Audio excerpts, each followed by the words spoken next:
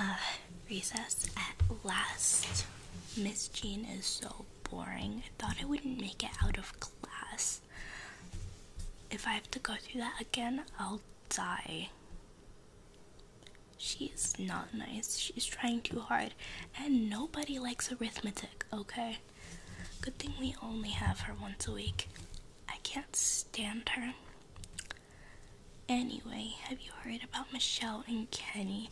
I'm never going to date. Did she forget how many cooties boys have? Like, Jimmy! Jimmy! What was that? I'll get him later. Like, no, thank you.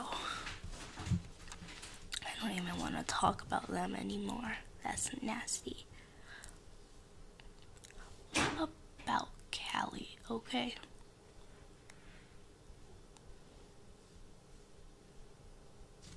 What about Callie?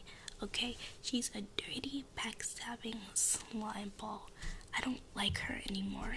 She didn't sit with me just so she could sit with the popular kids. I've been since before we could spell bestie, and now she sits and becomes practical plastic with the cool kids.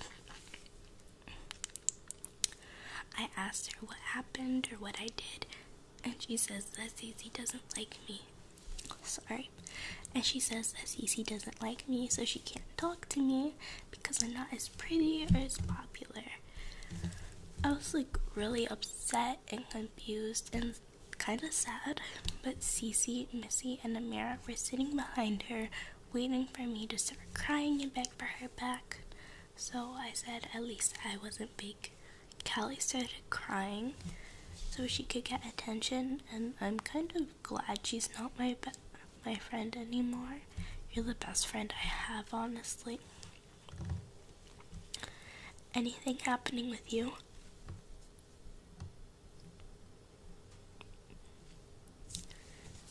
Is no way Catalina told Ben about your crush on Milkshake. What's wrong with the codename Milkshake? Both are nice, but really cold. Catalina's a blabbermouth.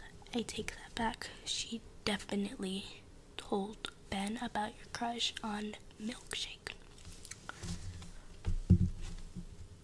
Well, you shouldn't have told her.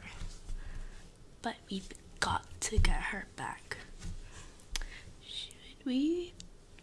Hmm. But we've got to get even with her for that.